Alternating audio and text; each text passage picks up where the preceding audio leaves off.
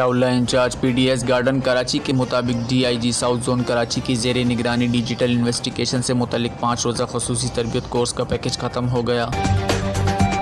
बीस रेंज के मुख्तलिफ़ इन्वेस्टिगेशन यूनिट में शामिल ए एस आई के अहदे से लेकर डी एस पी तक के बीस पुलिस अफसरान ने इस खसूसी कोर्स में हिस्सा लिया। C C D V footage जियो फाइनेंसिंग के अमल सी डी आर मकाम के सुराग लगाने के अमल, सिल्वर कंप्यूटर, लैपटॉप वगैरह जैसे मुख्तलिफ़ जदीद औलाद से डिजिटल शवाद को जमा करने और तहफ़ फराम करने पर मरकूज थे।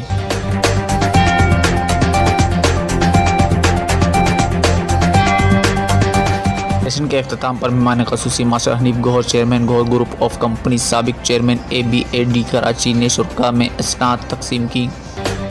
और सामिन के साथ अपने ख्याल बांटे। जी तो नाजरीन, इसी के साथ हमारे साथ मौजूद है मशहूर और मरूफ शख्सियत हनीफ गौहर साहब। तो आइए इनसे जानते हैं आज की तकरीब सर, आज की तकरीब के हवाले से कुछ बताएँ। जी बिसमीम आज की तकरीब के हवाले से मैं ये बताऊँ कि मैं शायद बहुत ज़्यादा जगहों पर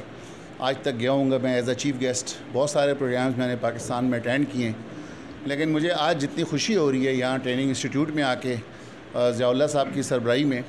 मैं ख़ास तौर पर इंस्पेक्टर जवला साहब का मशहूर हूँ, इन और इनके लिए दुआगो हूँ कि इन्होंने मुझे इस मौके पर याद किया, बुलाया और एज आ चीफ़ गेस्ट मुझे मौका दिया कि मैं पुलिस अफसरान से ख़िताब कर सकूँ। यकीनन मैं ख़ुद एक पुलिस अफसर का बेटा हूँ और मैं भी इसी तरह की ज़िंदगी मैंने बचपन में गुजारी हुई है सरकारी क्वार्टर के अंदर।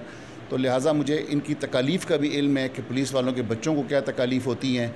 पुलिस वाले जितने नज़र आते हैं आपको बदनाम आप यकीन करें कि एक दिन के लिए अगर पुलिस शहर से गायब हो जाए तो आप देखें कत्ल गारत और यहाँ पे दहशत गर्दियाँ आपको नज़र आना शुरू होगी। मैं समझता हूँ कि जो फ्रंट फुट के ऊपर है, मैं सलाम करता हूँ, वो हमारे पुलिस अफसरान हैं।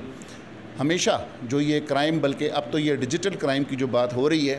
कि पहले जो देसी अंदाज में अपनी अकल से हमारे पुलिस वाले अपने मकबरों के ज़रिए ये पुलिस की तफ्तीश किया करते थे, लेकिन आज क्योंकि डिजिटलाइज दौर आ गया है, मीडिया का दौर आ गया है तो आज जो ये इंस्टीट्यूट बनाया गया है स्पेशल ट्रेनिंग के लिए तो मैं सराहता हूँ तमाम पुलिस के अफसरान को स्पेशल आईजी साहब को, तमाम डीआईजी साहबान को, और जितने भी मुंसलिक हैं यहाँ पर जितने अफसरान और खसूस ज़ियाउल्ला साहब, जो कि बाहर से जो है तो डिग्री कर कर आए हैं, पढ़ कर आए हैं, उन्हें दुनिया का पता है कि बाहर दुनिया में तफ्तीश कैसे की जाती है। और जब मैंने इनसे बात की